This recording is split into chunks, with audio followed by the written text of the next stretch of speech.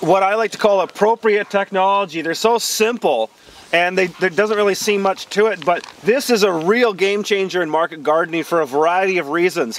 One we talked about back there and we talked about weed prevention and mitigation. Um, the great thing about a tarp is as far as weeds and, and, the, and, and prepping soil goes, you can use them in two different ways. So right we're standing on right here are some beds that have been shaped. You can kind of see the shape of the bed. So when you've got an old an old crop that was finished, you can just tarp it and let time do the work. That's what I love about this technology is you, you it really reduces the amount of work you do. That tarp over there, so they're also a great way to prep new land. So you might have some pasture and you can go run out some silage tarps and leave those there for a few months. Even leave them there for the winter. When you pull that off in the spring, and we can go pull it off later and take a look, and you'll see the ground is that much more friable.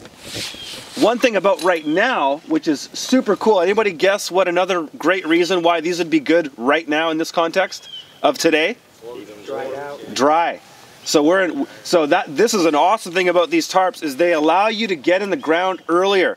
So in climates where you get a lot of win winter precipitation, sometimes like the warmer climates like in Canada for us on the west coast, the lower mainland is warmer than everywhere else, but it's piss and rain all the time. So people think that they can farm a lot longer because they have a warmer season, but you can't because the soil's always wet. So you can go and tarp an area in the in the fall and then you can pull that tarp off and then you've got dry soil that you can work with right away. Like you could see how difficult it is running those machines in wet soil. So this is one of the biggest advantages to using tarps is that it keeps your soil dry and then you can come in and you don't have to, it's not a mess. And then you can come in, prep your beds and then tarp it back. So let's say right now we were gonna prep up this area and we knew that we had a winter of rain coming.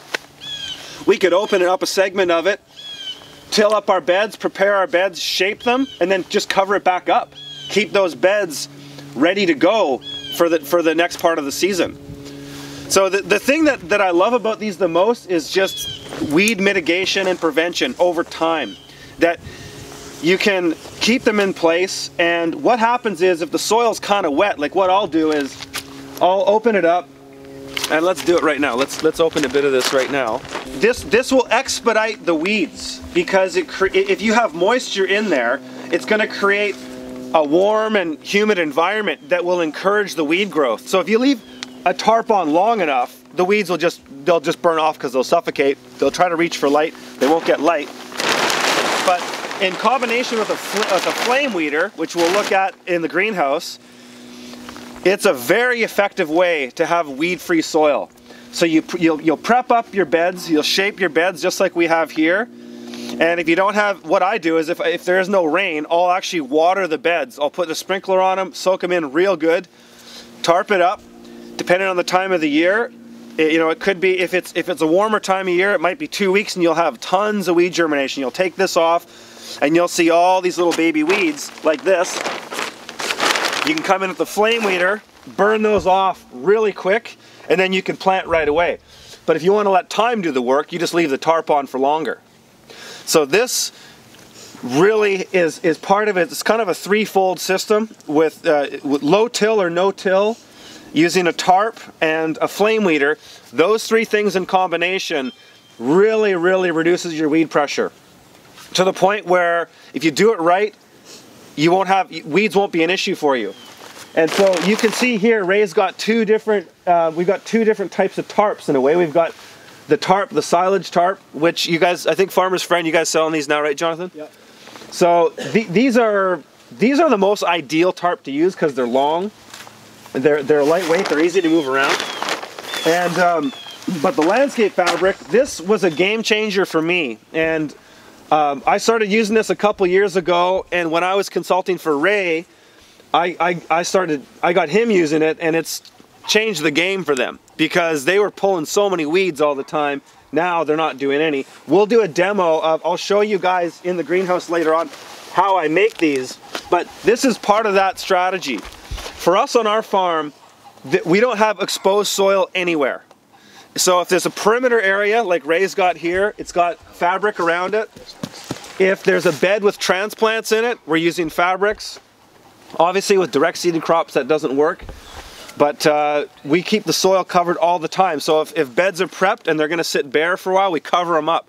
Because if you leave these beds like they are now, winter rain comes in, washes away your topsoil, that's erosion. In, in organic farming, we want, bio, we want biology, so we want to maintain our topsoil. So the tarp and the, the, the fabric is all part of that, keeping that soil structure in place. So this is simple stuff. It's cheap.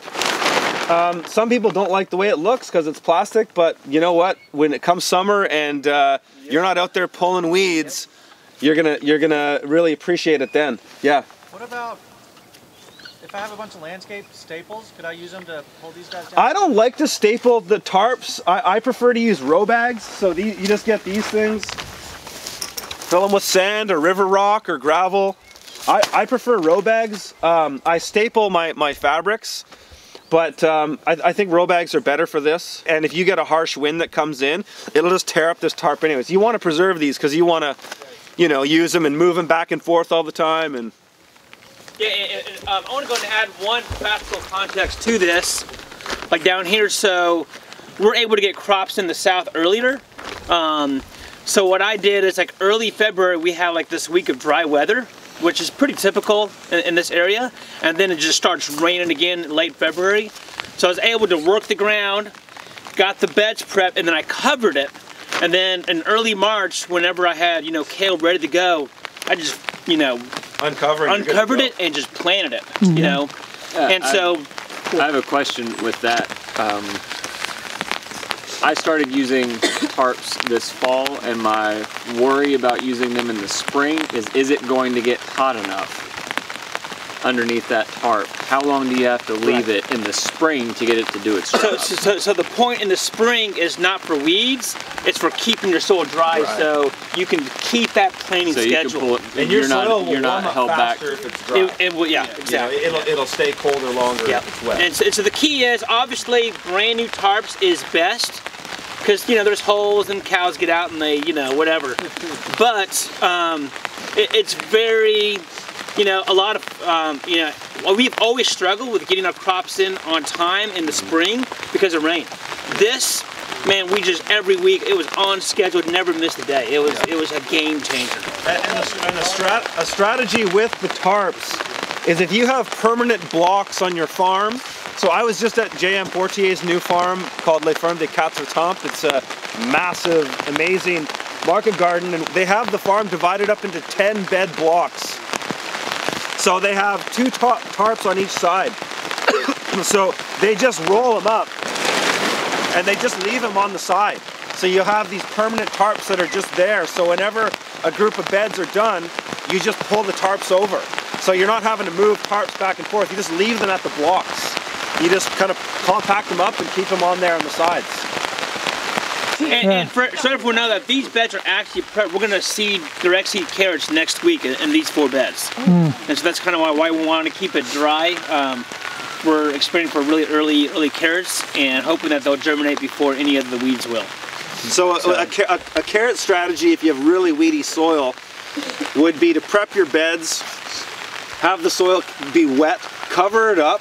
That'll encourage any weeds like we saw in there pull so what Ray might do when he does this is well this is what I would do is I'd pull that tarp off flame it right away so you get the double weed kill action with the tarp with time, and then the flame weeder plant your carrots and then six seven days later come back and flame it again on top of the carrots. Mm -hmm. you can throw a handful of radish seeds somewhere and when the radishes the radish germinate, germinate two or three days faster than carrots well more than that at this time of year but that's that's the idea there. Yep. You, you can really reduce your weed pressure because anybody who's grown carrots in weedy soil knows that it sucks. if you if you get a, a, bunch of weeds coming through, that yeah. those carrots Forget are right off. Just forget about it. Just mow mowed in. Yeah, just just Start plant over. again. Yeah. What I often do if that happens is if I if I and I've I've done this a few times where I've screwed it up where you know somehow the timing got mixed up, weeds didn't germinate. You planted your carrots. Carrots came up looking okay, but then in a week later huge crop of weeds. I just come in and flame the whole thing and start again. Flame the carrots, flame the weeds, and just plant right again. Adam, have you had experience with that tine weeder with carrots? When those carrots come up, they're about this big, right? So we've got the tine weeding rakes that we, we sell now at $30, okay? Um, there's a 21 inch model, all right? Carrots are this tall, um, and, and a lot of other crops, you know, are at that stage. You can run right over them with that um, blindly, right? The carrots are already got a really long tap root. They're not going to come out, and some of them you're going to cover up even, but they'll come through, okay? So it's really, really fast, really efficient. Wow. Yeah. Oh, so wow. Again, if you're not convinced, buy the right stuff. I'm buying two of these today. There you go. There you go. Anybody else? Anybody else? Step right up. Step right on up, Peter. So we want to go. I think we're ready. The harvester. Or what, Uh, are we what we're gonna do next? We're we're gonna we're gonna do um, the um, the furrower that, that Adam has because we're gonna walk, walk right past it. We forgot to add it, Okay. and then we'll do the harvester. Okay.